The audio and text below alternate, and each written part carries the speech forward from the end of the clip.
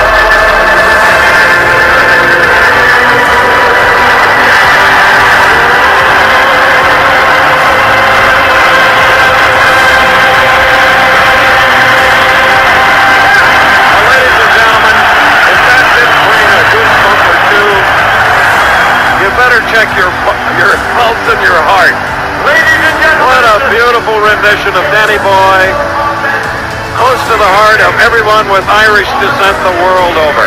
Lovely. Our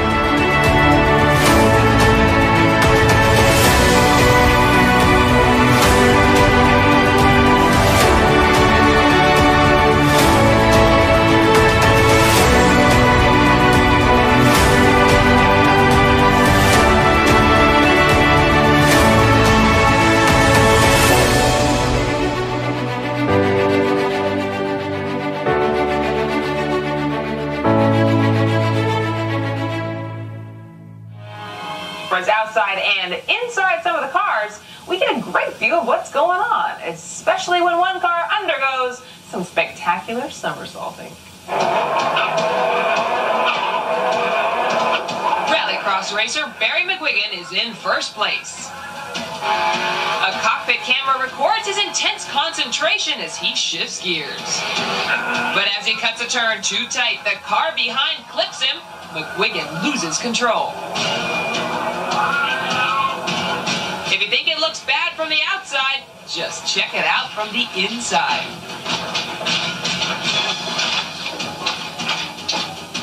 Slowing McGuigan's multi-flip down, watch as shards of glass and hunks of metal fly.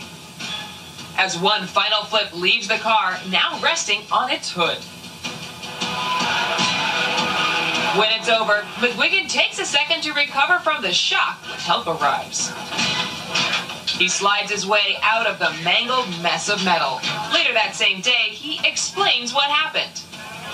after the first uh, first lap onto a very fast right-hander, and uh, I turned in three quarters of a car length in front of uh, Steve Easton. At that stage, it was more than that. Steve just left his braking too late, made contact with me on the back right corner of the car, and uh, that was enough to put me over. We were doing 85, 90 miles an hour. A crew member removes the keys from the ignition, and McGuigan, led to the sidelines, is cheered by a sympathetic crowd. You'd think this ex-boxer would have had enough of racing. Not on your life. Two weeks later, with a new car, he was back behind the wheel. Here he is in last place, trying to gain on the other drivers. But any minute, McGuigan is going to give us a repeat performance. Thomas, Barry on the outside of us. Thomas, he's got very, very cross now. He's up on the infield. Oh dear, it looks as if he has rolled it. Please, oh, please. McGuigan is furious. Oh, no, please. Oh, no, please. Here's how it went down. Watch the top left of the screen. McGuigan hits a bump. He swerves sideways in between the two other cars and heads towards this marker, knocking it over in its path. He flips, rolls, and this time finds himself on his side. Once again, here's what McGuigan had to endure from the driver's seat. Very, very cross now. He's up on the infield. Oh, it looks as if he has rolled it. It's remarkable Barry McGuigan walked away from both accidents. Much. McGuigan hung up his racing gear and gave up the sport for good. More tumbles in this next video. This time it's a high-speed boat race where, you guessed it, a boat traveling at a high rate of speed loses control and wipes out big time. At the Lake Fest drag boat races in Marble Falls, Texas, there's a fascination with acceleration. When the boats hit the starting line, it's full throttle action.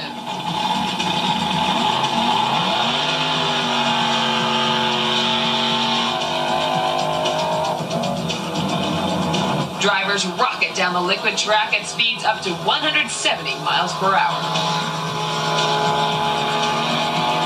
The first round of races goes off without a hitch, but these smooth waters are about to get choppy. Fans roll tape from both sides of the track. Gus Ward, piloting teacher's pet, revs up his engine for the second heat, but this time Lady Luck is not in the passenger seat. 1,000 feet down the track, something goes wrong. He crashes at a heart-stopping 130 miles per hour. The boat literally disintegrates. Precious moments tick by as rescue crews filter through the watery wreckage